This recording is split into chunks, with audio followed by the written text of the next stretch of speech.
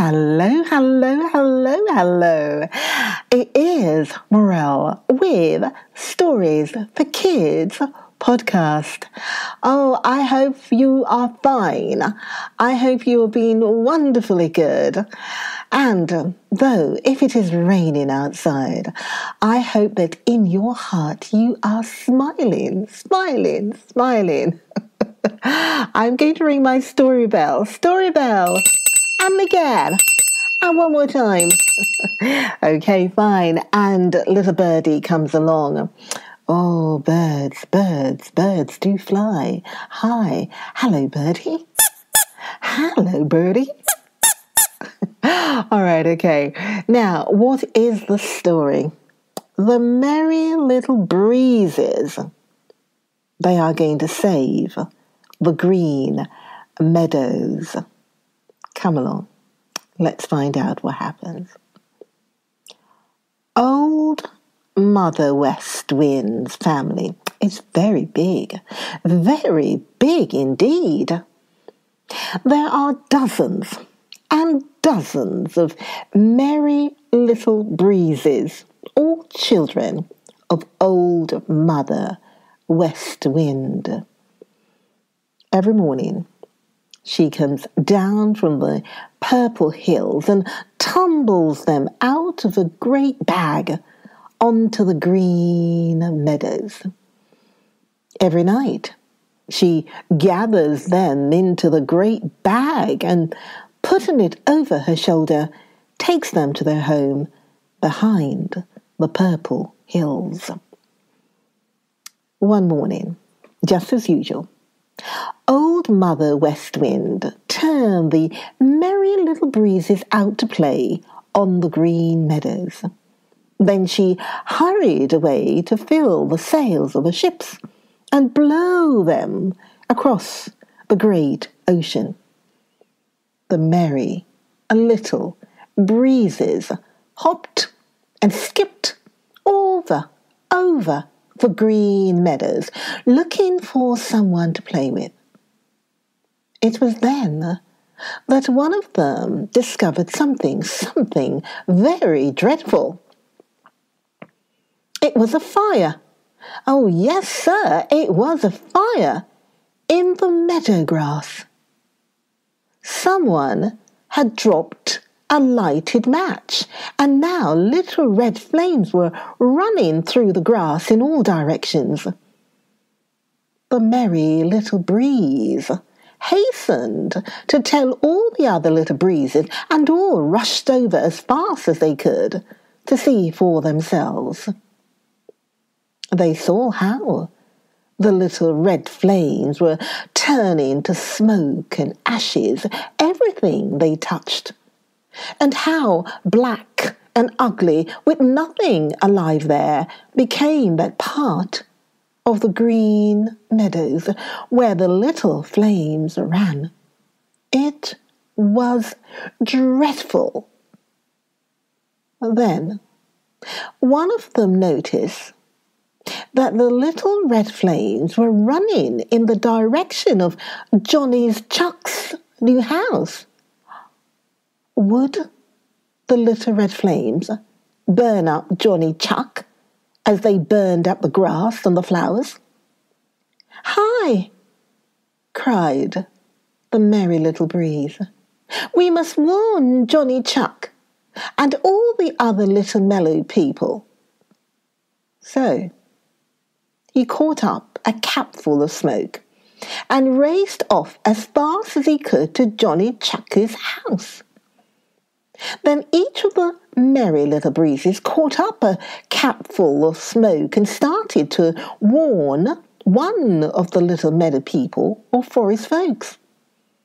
So, pretty soon, jolly, round, red Mr. Sun, looking down from the blue sky, saw Johnny Chuck, Jimmy Skunk, Peter Rabbit, Striped Chipmunk, Danny Meadow Mouse, Reddy Fox, Bobby Coon, Happy Jack Squirrel, Chatterer, the red squirrel, Jumper, the hare, and old Mr. Toad all hurrying as fast as they could to the smiling pool, where live Billy Mink and Little Joe Otter and Jerry Muskrat and Spotty the Turtle and Grandfather Frog. There they would be quite safe from the little red flames. Oh! gasped Johnny Chuck, puffing very hard, for you know he's round and fat and roly poly, and it was hard work for him to run. Oh, What will become of my nice new house, and uh, what will there be left to eat? The Merry Little Breeze, who had brought him the warning in a capful of smoke, thought for a minute. Then he called all the other little breezes to him.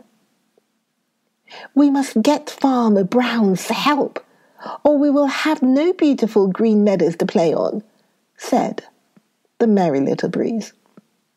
So together they rushed back to where the little red flames had grown into great, angry red flames that were licking up everything in their way the Merry Little Breezes gathered a great cloud of smoke and lifting all together, they carried it over and dropped it in Farmer Brown's dooryard. Then one of them blew a little of the smoke in at the open window near which Farmer Brown was eating breakfast. Farmer Brown coughed and strangled and sprang from his chair. Phew! Oh! cried Farmer Brown. Hmm, I smell smoke. There must be a fire on the meadows. Then he shouted for his boy, and for his hired man, and the three with shovels in their hands started for the green meadows to try to put the fire out. The merry little breezes sighed with relief and followed to the fire. But when they saw how fierce and angry the red flames had become, they knew that Farmer Brown and his boy and his hired man would not be able to put the fire out. Choking with smoke, they hurried over to tell the dreadful news to the little meadow people and forest folks gathering at the smiling pool. Chugarum, why don't you help put the fire out? said Grandfather Frog. We warned Farmer Brown and his boy and his hired man. What more can we do? asked one of the Merry Little Breezes. Go find and drive up a rain cloud, replied Grandfather Frog. Splendid! cried all the little meadow people and forest folks. Hurry, hurry, oh do hurry! So the merry little breezes scattered in all directions to hunt for a rain cloud. It's a good thing that old Mother West Wind is such a big family, said Grandfather Frog. For one of them is sure to find a wandering rain cloud somewhere. Then all the little meadow people and forest folk sat down around the smiling pool to wait. They watched the smoke roll up until it hid the face of jolly round red Mr. Sun. Their hearts almost stood still with fear as they saw the fierce, angry red flames leap into the air and climb tall trees on the edge of the green forest. Splash! Something struck in the smiling pool right beside Grandfather Frog's big green lily pad. Spat! Something hit Johnny Chuck right on the end of his funny little black nose. There were drops of water. Hurrah! cried Johnny Chuck, whirling about. Sure enough, there were drops of water, raindrops, and there, coming just as fast as the merry little breezes could push it, and they were pushing very hard, very hard indeed, was a great black rain cloud spilling down rain as it came.